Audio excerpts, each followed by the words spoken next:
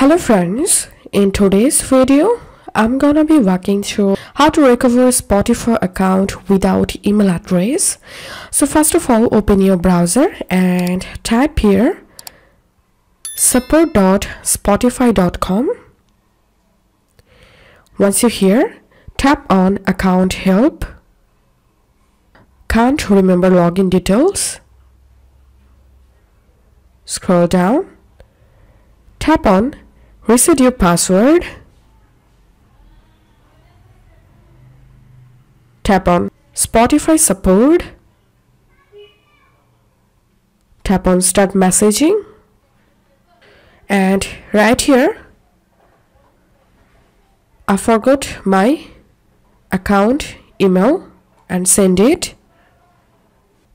Tap on can't login tap on no give her your name. Tap on yes. Do you think someone may have accessed your account without your permissions? Tap on no and now select I don't have access to the email on my account. We will contact you to an advisor. They may need to verify your the account owner. If premium prepare a picture of a recent Spotify charge on your bank statement. When you have that ready, tap on I have it ready and it will connect you to an advisor. All you have to need is just give here your Spotify account username and uh, give your